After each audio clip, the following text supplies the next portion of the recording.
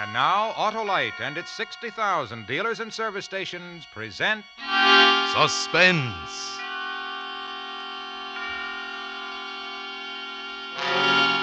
Tonight, Autolite brings you Miss Joan Fontaine in Lovebirds, a suspense play produced and directed by Anton M. Leader.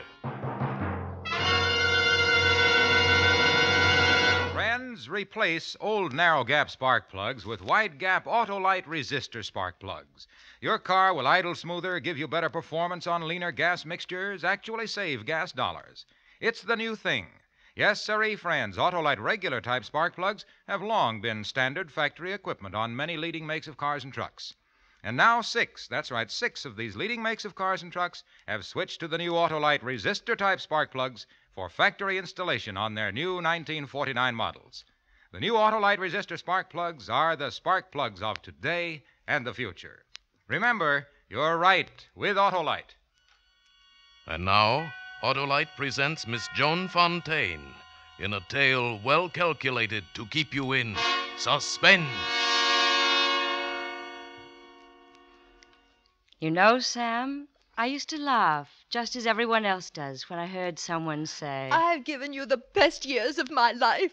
But it's not funny to me anymore. No, because that's what I've done, Sam. I've given you the best years of my life, waiting for you to die.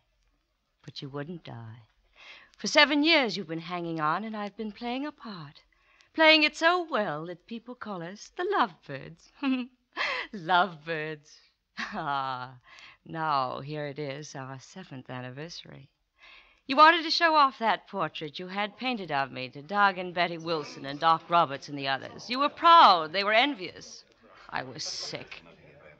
Yep, that's Martha, all right, right down to the last eyelash. Like a Doc? Perfect, Sam, just perfect. Mm, the perfect portrait of the perfect girl. oh, well, it's after midnight and I'm a nine o'clock guy. Yeah, I've got to shove off, too. Um, how's the asthma these days, Sam? Oh, seems to be getting better, Doug, but my arthritis.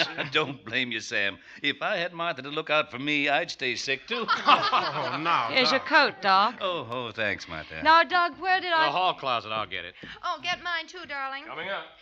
Oh, it was a lovely party, Martha. Thank you. And let me tell you, Mrs. Lovebird, if you keep on taking the kind of care of old Sam you have been, we'll all be here for number 50. Oh, go on, Doc. I'm serious. When you two first got hitched, I wouldn't give you two years, Sam. Now I'd give even money you make. Come on in. Oh, it's nothing, Doug. Uh, uh, here, I'll put it away. Darn box fell off the shelf and I reached for my hat. Here, let me put Uh, it no, away. Doug, please, it's nothing. I. Hey, You fellas keeping secrets? What's the trouble, Doug? Well, looky here. Travel folders, a whole box full of them. Alluring Alaska, Acapulco, 30 day cruise, San Moritz, Capri. Say, what is this? Oh, this? come on, Sam. Spill it. You two lovebirds planning to migrate somewhere? News to me. They're mine, Doug. oh. Oh, uh, well, Martha's kind of a kind of a pack rat. Keeps all kinds of trash stowed away in strange corners. Yeah. You wouldn't kid us, Sam. You're not really planning a trip.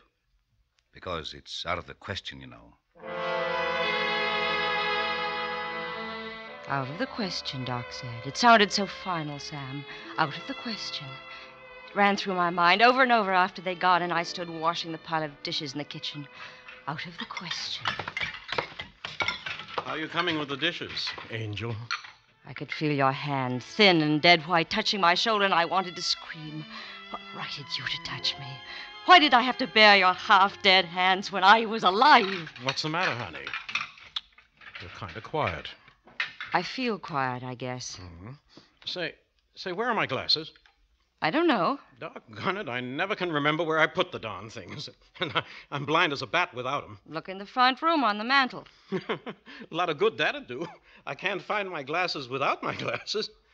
Take a look for me, will you? Mm, But my hands are wet, Sam. Can't you wait until morning? Mm, gotta have 'em now. Mm, All right, but I can't see why you need them in bed. It's these sleeping pills. Jim was out of my kind and gave me these. Said they were just as good, but I, I can't read the directions. Is it that important? Of course it's important. Why, why, just the other day I read where a fellow in, in Chicago took a couple too many and bingo. Oh, I'll. I'll see if your glasses are on the mantel, Sam. I leaned back against the wall for a minute. Out of the question. It was ringing in my head like a bell. Out of the question. Then, Sam, right then, I knew I couldn't take it any longer. I went into the living room, picked up the pair of glasses on the mantel. seven years, seven long years of caring for you like a baby, one sickness after another, every one in the book. You nearly died a dozen times, and each time I saved you. That's what everyone said, even the doctor. what a joke. Here I was, waiting for you to die, but you wouldn't, Sam. You wouldn't have the decency to die and leave me the money so I could I could get away from this little town and live like a normal human being. Find him, darling? Uh, no, no, Sam. Uh, uh, these are my glasses.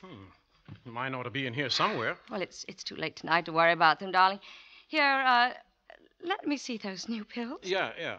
Take a look. Mm-hmm. These are different. Says uh, uh, 2% instead of 5. Uh, Six pills instead of two. Really? Mm-hmm. They don't sound very good, Sam. I'll, I'll try to get some of your regular kind next time I go to Chicago. Six, huh? Mm-hmm. That's what it says. Funny. Jim didn't say anything about it. Hadn't you better get ready for bed? It's, it's nearly one. In a minute, in a minute. Martha, would you tell me something honestly? Of course. What is it? Well, that that business about the travel folders. Oh, I suppose it's nothing, but well, somehow I, I can't get it out of my head. What about the travel folders? Martha, would you really like to go to those far far off places? Just you and me? Don't be silly. You know what Doc Roberts said. I didn't ask you that. I asked you if you wanted to go with me. It it's awfully important to me now, Martha. Whether you'd want to go with me. Hmm, why worry about it? You know we can't go. That's why I need you worse than ever, Martha. That's why I. I guess it kind of hurts me to find you collecting travel folders, like you wanted to get away from me. Well, I guess you're right. I'd better get up to bed. I watched you go up the stairs. and I put the glasses back on the mantel. Your glasses, Sam, not mine. I waited a long time downstairs, listening to you shuffling around in your sandals. Heard the bathroom faucet go on, and I knew you were taking your pills. Six pills instead of two. Then there was the shuffling again, and quiet.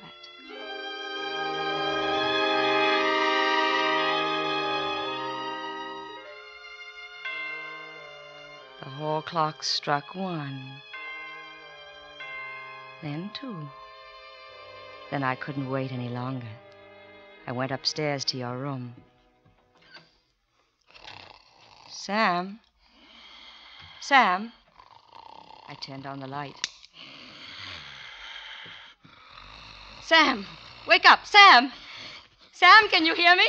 Sam! It's working. It's working.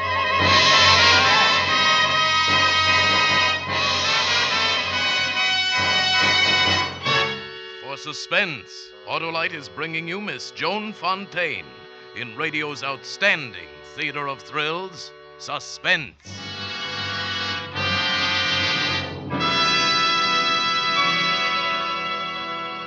Harlow, uh, the newspaper says smart men are now wearing pastel colored shirts for business. Well, now that you mention it, Hap, I have noticed a trend among smart men. Smart men are replacing old narrow gap spark plugs with wide gap Autolite resistor spark plugs because they make a car idle smoother, give better performance on leaner gas mixtures, actually save gas dollars. Why, when you install a set of the new Autolite resistor spark plugs, you can tell the difference in your car. Uh, this article says Petunia Pink is getting a great reception. Reception. Autolite resistor spark plugs cut down spark plug interference with radio and television reception. A- and it says only this style offers smart men the advantages. Only of... Autolite offers smart car and truck owners everywhere the sensational advantages of new resistor type spark plugs. So head for your nearest Autolite dealer and replace old narrow gap spark plugs with Autolite ignition engineered resistor spark plugs. Your car will be glad you did. And now, Autolite brings back to our Hollywood soundstage Joan Fontaine as Martha in The Lovebirds, a tale well calculated to keep you in suspense. Yes, Sam.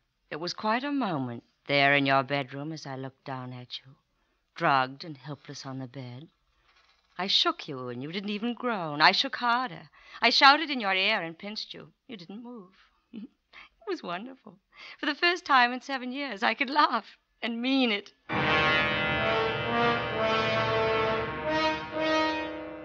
I gave you plenty of time, Sam. You were gone. I couldn't feel your pulse when I called Doc Roberts at six in the morning. I waited downstairs for him to break the news to me. Easy now, Martha. Just lean back and rest. Tell me what is it, Doc? What's wrong with him? He's going to die, isn't he? He's going to leave me alone. Let down now. Just let go. That's it. He wouldn't wake up, Doc. I, I shook him, but Yes, yes, I know. Is he... is he dead? No. He'll live, Martha. What? Sam will be all right. He's sleeping now. Probably will till late this afternoon. But what... Martha, I think it'll be better if I say this straight out. Say what straight out? Looks to me like Sam took an overdose of sleeping medicine. No. Well, he might have made a mistake in counting, or Suicide? maybe. You noticed anything strange about him lately? Well, you... You know how he's been since his asthma started. Yeah. What are you going to do, Doc? I'm supposed to make a report on these things. You can't do that. What, what if it got around town? What if it got back to Sam? There's no telling what he. Ah, that's true. It still might might have been an accident. Oh, we we've got to give him the benefit of the doubt. It's a touchy business, though, Martha. He he mustn't think that we we suspect it. Doc, there's there's no telling what he'd do. I'll tell him he had a fever in the night. Maybe you're right. You know, the body's a pretty durable thing, even a body like Sam's, but the mind, that's something else again. Ah, I'll do all I can, Martha, but the big job is yours.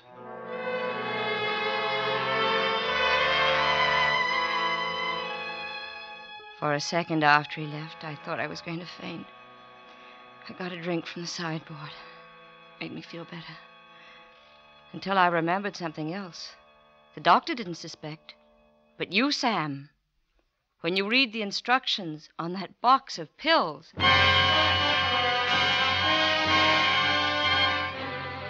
I drove all the way to Chicago that morning, Sam, and I got what I wanted. It wasn't quite noon when I returned to your room, put the new box on the stand beside your bed, and threw the other in the furnace. It was a long way to go, but you gave me plenty of time. Where have I been? Martha! Right here, Sam. Oh, I feel. I feel dopey. Doc said you had a touch of fever last night. Doc? Mm-hmm. He looked you over this morning. What time is it? Noon. Funny. I don't remember anything about it. Hmm. What's this? What? A box on the stand here. That's not the one I bought. Oh, I, I got rid of your new pills. Picked up some of the regular kind this morning while I was shopping. You never quit, do you? What do you mean, Sam? Spoiling me like this. First thing you know, I'll be as helpless as a baby. What's for lunch? It was that easy, Sam. You never suspected. I was afraid of Doc Roberts at first, but he didn't say a thing. And for a while there was wh- whispers you didn't hear. They were so sure you'd tried to kill yourself, Sam. They were so afraid you'd try it a second time. And I stopped being afraid. This was no time to lie back and wait. They'd given me a weapon. This was the time to do it. Well, let's see, Martha. I reckon the surest thing would be poison. Uh, thiocyanin. But isn't that sort of dangerous, Jim? Not if you're careful. How much will I need? Oh, one package ought to do it. Depends on how bad they are. The rats. Here. There you are. Hope it does the trick. Thanks, Jim. So do I. It was going to be different this time, Sam. This time I knew where I was going. That's where I'd made the mistake before, you see. I hadn't planned. A week later, I was ready. I remember you came home early that evening, and I was in the kitchen starting your dinner. Salad, tossed lettuce and garlic. Plenty of garlic. Getting dinner, Martha? It's almost done. Have it ready in a minute. Hmm. that roast smells good. Better go and wash so things won't get cold. hmm What's that you're mixing there? Dressing for the salad. Oh, dressing. You sure? What do you mean? Wouldn't be a love potion for me, would it, Martha? Or maybe, just maybe, a death potion. Oh, dear. You've cracked the salad bowl. What's the matter, Martha?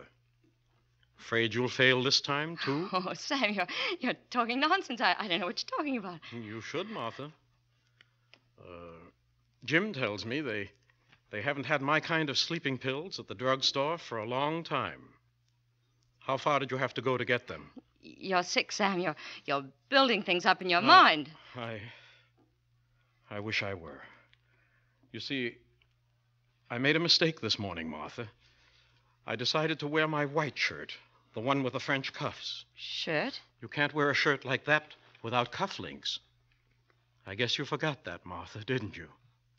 That I kept my cufflinks in your jewelry box. Yes. Yes, Martha, I found it. I found the poison. Oh, well, that's what's worrying you. It's, it's for the rats. I I bought it for the rats. rats. Should have bought some rats, too, because there aren't any around here. There's a certificate from an extermination company in the file that says so. That's a nice looking salad, Martha. Here, taste it. Don't be a fool. You're the fool. You bought the poison. For some rats that don't exist. I ran out of the kitchen upstairs to my room. I was scared, Sam, and lost. I, I grabbed my coat and hat without thinking and started down the stairs. Better not go, Martha. Leave me alone. Do you want to hang? Hang. That's right, Martha. Oh, Don't be ridiculous. Th- There's got to be a murder first. There will be. The minute you leave this house. Remember, my dear wife, I have the poison. So? Okay, go on. Go on and leave, Martha. But just remember, when you walk out that door, I'll take enough of that poison to make them hunt you down from one end of the earth to the other. I'll take enough of it to make them hang you 20 times.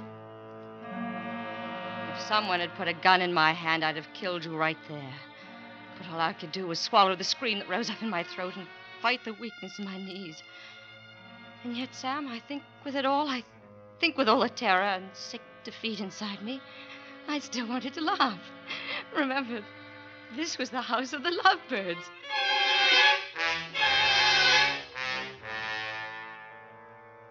That night I lay in bed, twisting and turning, waiting for you to go to sleep.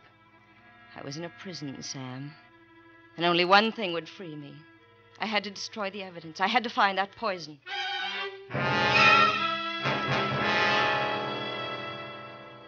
At one o'clock, I walked across to your door, opened it quietly, listened. You were asleep. Your clothes were draped over a chair next to the bed. I went through them first, then to the closet and your other things, and then the dresser. It had to be somewhere. I tried to put myself in your place. Where would I have hidden it? Your snoring seemed to grow louder, pounding in my eardrums. I think it was then that I felt the paperweight on the nightstand. And for a moment I thought if, if I stopped that snoring, everything would be all right. I held it above your head, ready to smash and smash again and again. Why don't you strike, dear? No. You know better than to kill me, don't you? That'd be silly, Martha. Stupid, too. Where did you put that poison? In a good, safe place. You're wasting your time, you know. You'll never find it. I. I plan to use it myself in my own good time. What do you mean? You'll find it one of these days when the mood strikes me. Sam! Why not? Remember, you bought the poison, and they'll figure you got caught in your own trap. Maybe got hold of a cup of coffee or a cheese sandwich or, or something you'd fixed for me by mistake. Better get back to bed now. Get some rest. You've got a trying head a day, day ahead of you.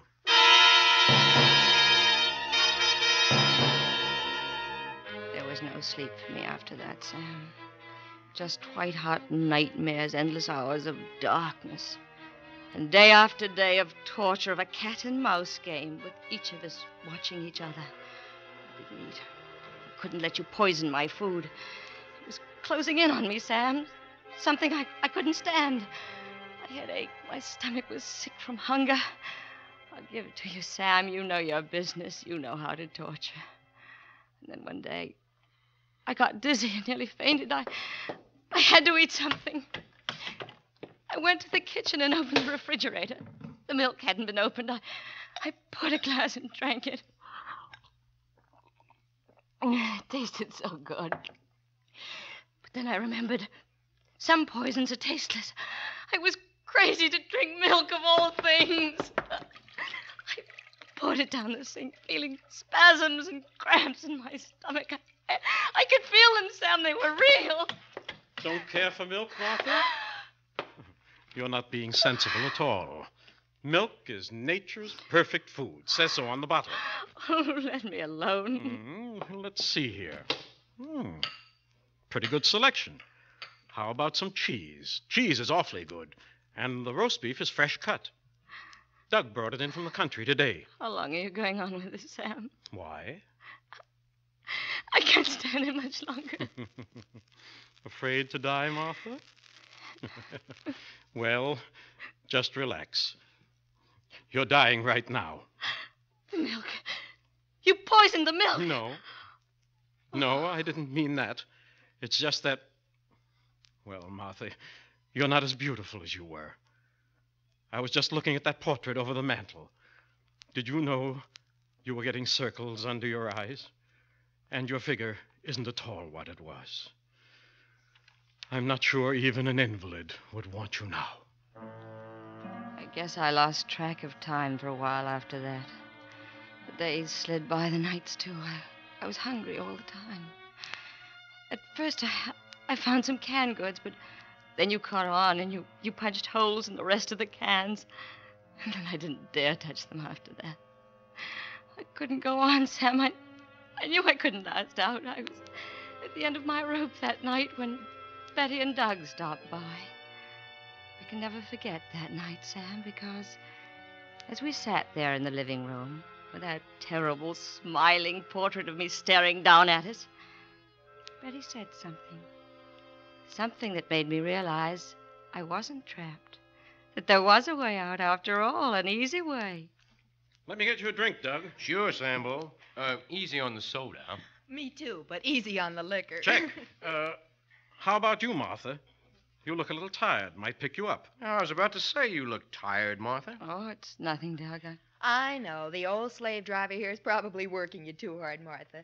You need a vacation. Yeah. How about driving down to Florida with us next week, huh? Florida, oh, we why- can't make it, Doug. The doc wants to keep an eye on me. I don't know. Heaven knows I like my home as well as the next one. But if I had to stick as close to it as Martha does, I'd probably go right out of my mind. Ha ha. I sat very still. It was all I could do to keep a smile frozen on my face like a mask. That moment, Sam, I, I felt like a prisoner who'd just been handed the key. It was a marvelous feeling, surging up inside me like fire. Well, of course, if they thought I was crazy, they'd take me away. And no matter what you did, you couldn't touch me. I, I looked around the room saw the poker by the fireplace under the portrait. I remember how your eyes followed me as I got up and walked to the fireplace, picked up the poker. I gave you one last smile. And then I turned to the painting and I raised the poker high. I hate this painting! I hate it! I hate it! Oh! Get her, Sam. Martha, put down that poker. I got her. Give it to me, Martha. Give me that poker. Let me go! Ouch! She bit me. Give me your hand, Doug. I got her. I got her now. Sam. Good Lord. She's. Yeah. Yeah.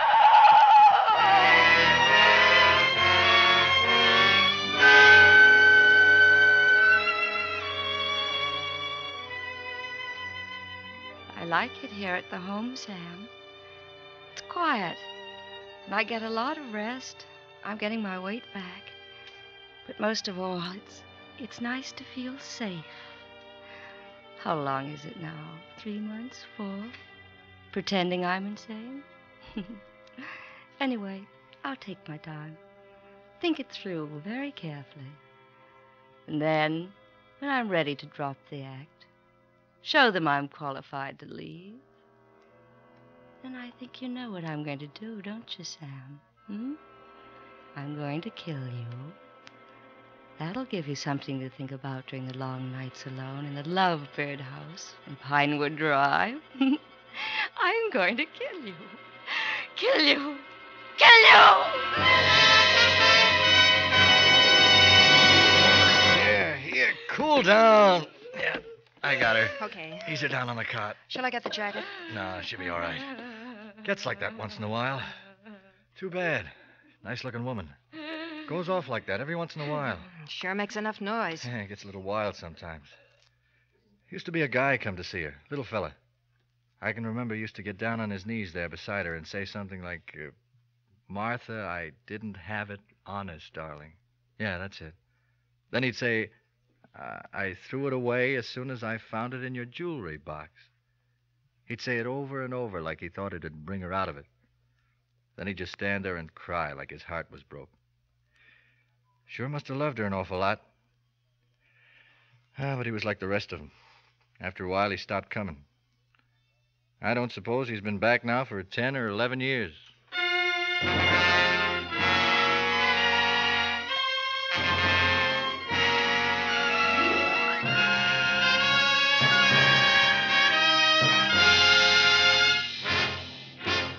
Thank you, Joan Fontaine, for a splendid performance. Uh, Miss Fontaine, Yes, Mr. Wilcox. I ran across your picture today in the new two color Autolite spark plug advertisement in this week's issue of the Saturday Evening Post. Oh, yes, I saw that, and from reading it, I, I learned more about Autolite resistor spark plugs. Oh, that's swell. You know, Miss Fontaine, during the coming weeks, that same two color advertisement will appear in many national publications. Autolite wants to make sure that car owners everywhere replace old narrow gap spark plugs with sensational new wide gap Autolite resistor spark plugs. They're made by Autolite men who make over 400 products for cars, trucks, airplanes, and boats in 28 Autolite plants from coast to coast. Yes, sirree, Autolite also makes complete electrical systems for many makes of America's finest cars batteries, spark plugs, generators, starting motors, coils, distributors. All ignition engineered to fit together perfectly, work together perfectly, because they're a perfect team. So, folks, don't accept electrical parts that are supposed to be as good. Ask for and insist on Autolite, original factory parts at your neighborhood service station, car dealer, garage, or repair shop. Remember, you're always right with Autolite.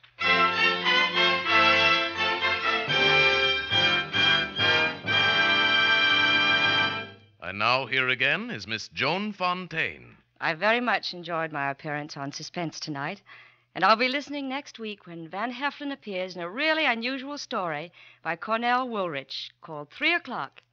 I know it will be another gripping study in. Suspense. Joan Fontaine can currently be seen in You Gotta Stay Happy, a Rampart production co starring James Stewart. Lester Sharp played the part of Sam. Tonight's suspense play, The Lovebirds, was written by Shirl Hendryx and adapted by Harold Swanton, with music composed by Lucien Moraweck and conducted by Lud Gluskin. The entire production was under the direction of Anton M. Leader. Next Thursday, same time, hear Van Heflin in 3 o'clock.